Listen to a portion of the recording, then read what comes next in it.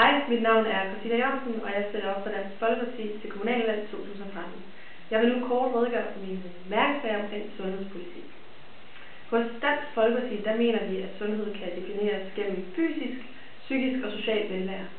Jeg ønsker derfor, at øh, sundhedspolitikken optimeres med en øget fokus på forebyggelse, effektivisering og dygtigt personale. Forebyggelse er nødvendig for at undgå diagnostisering og behandling af sygdomme, der kunne have været undgået, f.eks. livsstilssygdomme. Jeg mener derfor, at der skal lægges en større vægt på oplysning, helbredsundersøgelser, vaccinationer og motion.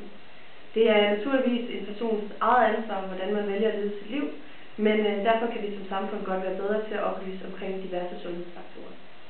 Ligeledes ønsker jeg, at vi i Syddanmark oplever en opdateret, et opdateret sundhedspersonale og en moderne øh, sygehusstruktur, hvor man ikke bliver syg af at tage på hospitalet.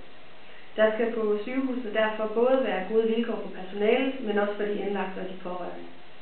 Sidst, men ikke mindst, så vil jeg kæmpe for, at psykiatrien bliver prioriteret højere, og der kommer bedre vilkår for psykiatriske patienter. Personale, der arbejder med psykisk syge, skal altid være topkvalificeret og have deres evner fornyet regelmæssigt.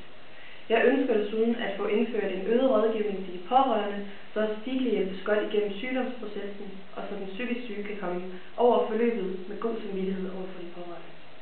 Til slut finder jeg det vigtigt at påpege, at der ved udskrivelser altid skal foreligge målrettede planer for den indlagte, så vedkommende kan komme bedst muligt tilbage til en normal hverdag. Tak fordi du lyttede med, og jeg håber på dit kryds til kommunalvalg 2013.